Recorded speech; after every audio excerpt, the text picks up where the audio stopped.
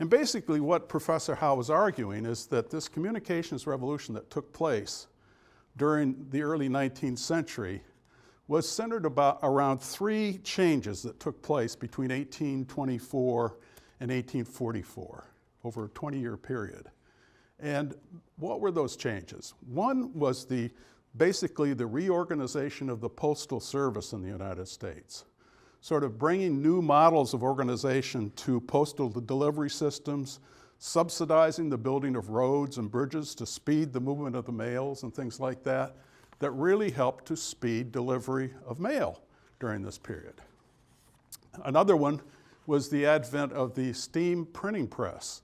Uh, these were, the old style presses were flat plate presses in which things were literally stamped out in a very slow manner. The Benjamin Franklin way of printing, basically. And these were rotary presses that printed on both sides of the page and were powered by steam engines.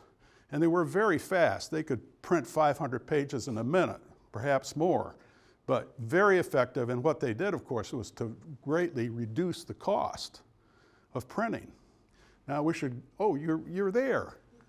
Renee is going to project the slides, so you're, that you're doing exactly what we need to do. That is a steam-powered press manufactured, I believe, by Richard Hoe in New York City. He became very famous for manufacturing steam presses during this time. Difficult to engineer and difficult to make very much looking like a machine as it was. Well, the, th the third element here is the one you might guess at, and that is the advent of telegraphy, the electric telegraph. Uh, or as contemporaries referred to it as the lightning telegraph. It was so fast, speeding messages around the country at rates that had just never been seen or heard of before. And people looked at these things as almost miraculous during this time. You know, they surely were evidences of the idea of progress, the idea that things were getting better in society.